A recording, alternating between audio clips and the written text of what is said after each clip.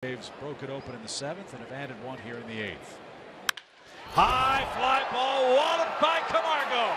Wow, look at that baby jump.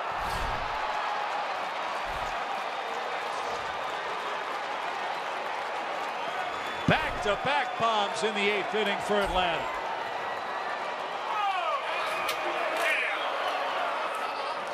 And batting right handed. Both homers right handed for Camargo.